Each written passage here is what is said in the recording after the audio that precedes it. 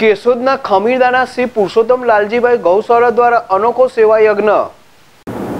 સમગ્ર રાજ્યમાં ઘણા દિવસોથી પશુઓમાં લંપી રોગનો ફેલાવો થયો છે, જેમાં અનેક પશુઓ મોતને ભેટ્યા છે. હાલમાં પણ લંપી રોગનો વધુ પ્રસરી રહ્યો છે, ત્યારે પશુપાલકો મૂંઝવણમાં મુકાયા છે.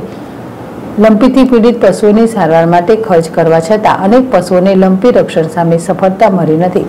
જે બાબતની ચિંતા સાથે કેશોદ તાલુકાના ખમીદાણા ગામે આવેલ શ્રી પુરુષોત્તમ લાલજી ગૌશાળા દ્વારા અનોખો સેવાયજ્ઞ શરૂ કરાયો છે. લંપી પીડિત પશુઓ માટે આયુર્વેદિક મલમ તૈયાર કરવામાં આવી રહ્યો છે, જે ઘેરુ, હળદર કુંવારપાઠું કપોર, ઘોટી સહિતનો ઉપયોગ મલમ તૈયાર કરવામાં આવી રહ્યો છે. જેના માટે ગૌશાળાની યુવા ટીમ ભારે જહેમત ઉઠાવી રહી છે.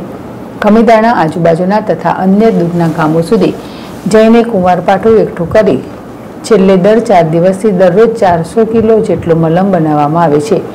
જે દરરોજ સાતસોથી આઠસો પશુઓ માટે પશુપાલકો લેવા માટે આવી રહ્યા છે. કેશોદ માંગરો સહિત આજુબાજુના વિસ્તારોના પશુપાલકો મલમ લેવા આવી રહ્યા છે. દરરોજ વીસ હજારથી વધુના ખર્ચે મલમ તૈયાર કરવામાં આવે છે.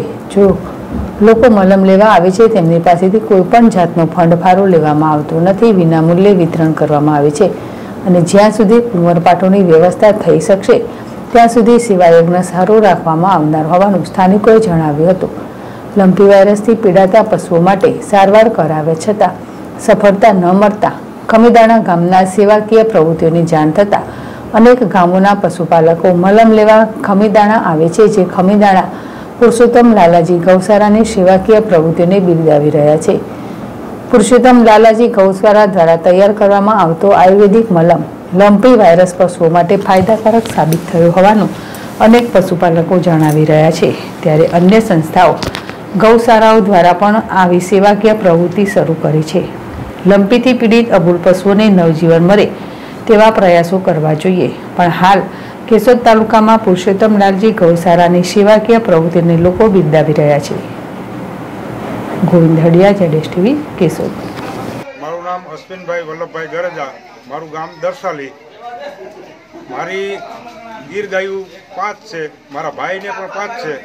બધી ગાયોને લંપી વાયરસ લાગેલો છે. મેં ઘણી જગ્યાએ દવા કરાવી, પણ કશો ફરક નથી.